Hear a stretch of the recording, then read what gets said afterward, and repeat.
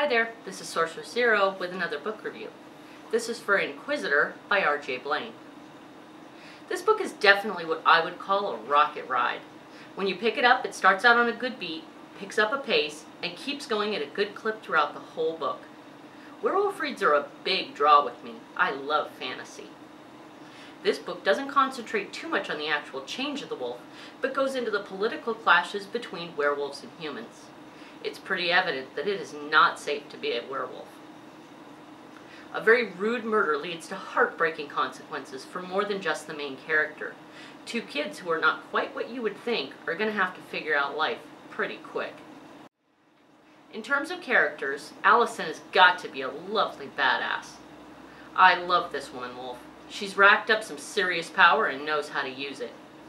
As the head of a major corporation, she can pretty much order whatever she pleases, although she can't fix everything she comes across, no matter how hard she tries. I was kept guessing until the very last second who the bad guy was. Oh, definitely she's the baddie. Oh, wait, is it him? Is she a traitor? No, no, it's gotta be him. But then you just want to read some more, taking the book with you to the kitchen while you get something from the fridge, and then returning to read some more on the couch. Technically, the book is good.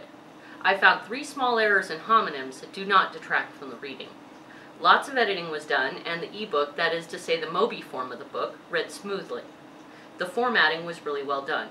This is a good length for an informal, action-packed read.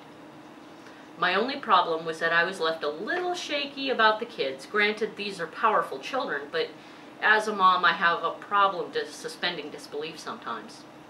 I think the separation of the reader from the kids was very abrupt. I'm not sure if this is my problem as a reader, but I sure hope they show up in the second book. So, does this book show up as a thriller? Absolutely. Thrillers should be spine-tingling page-turners, and this one fits the bill pretty well. You will not be safe reading this book.